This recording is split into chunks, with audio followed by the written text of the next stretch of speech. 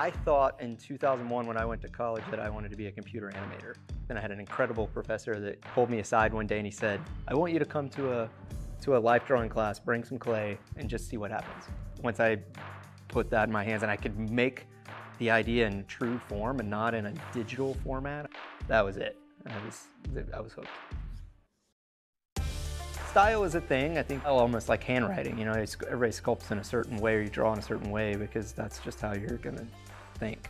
But that's always evolving for me. I love evolution. I don't like repeating. So I'm always looking to grow and I don't think that'll ever stop. The biggest challenge so far has been figuring out how to do the bronze work. I'd put all this effort in to try to raise the money to be able to cast my stuff in bronze. I was coming home from the foundry, I'm upset. You know, like, oh, they messed this up and this is not what I wanted.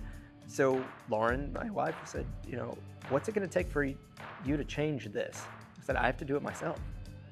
I think too many people want an immediate, easy thing to happen. No. In art, you, know, you can put out an endless amount of time and you still might not get that thing. Just keep trying, keep working constantly.